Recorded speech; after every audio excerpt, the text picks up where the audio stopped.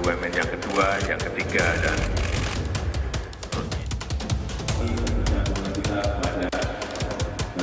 impor. Juga yang berkaitan dengan peningkatan efisiensi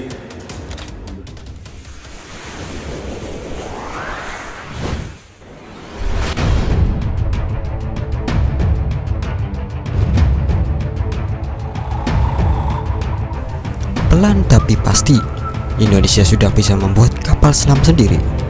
Kapal selam dengan kapasitas 45 awak ini dinamai KRI Alugoro 405.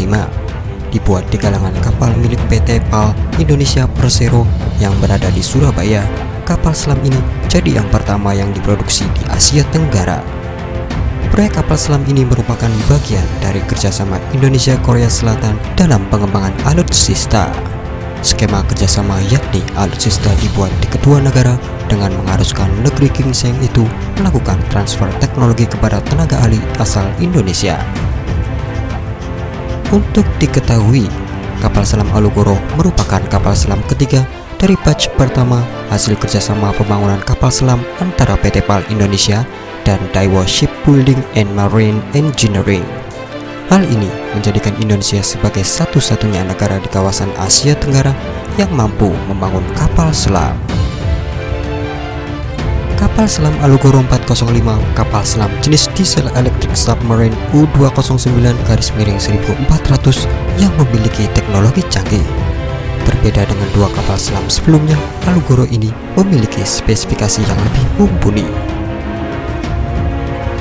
Nama Alugoro 405 sendiri diambil dari cerita pewayangan.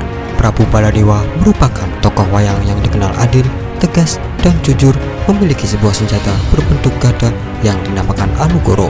Senjata Alugoro ini diberikan oleh Batara Brahma kepada Baladewa setelah dinyatakan lulus menuntut ilmu.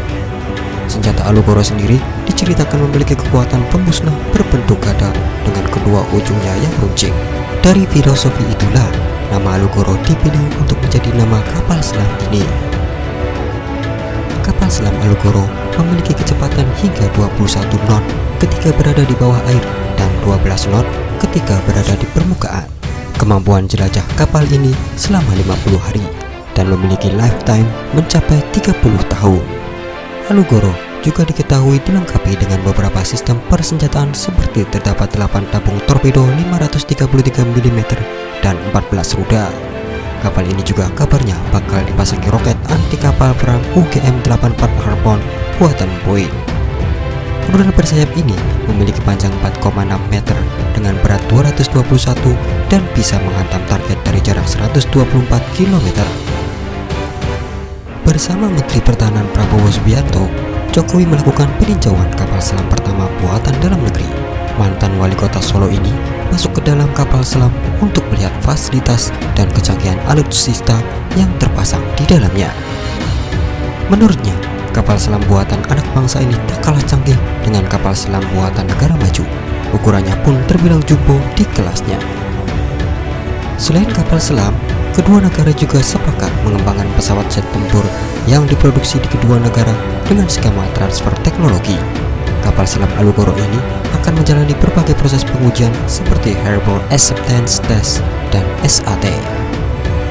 Kapal dengan senjata utama torpedo ini rencananya akan diserah terimakan kepada Kementerian Pertahanan untuk digunakan oleh TNI AL pada Desember 2020.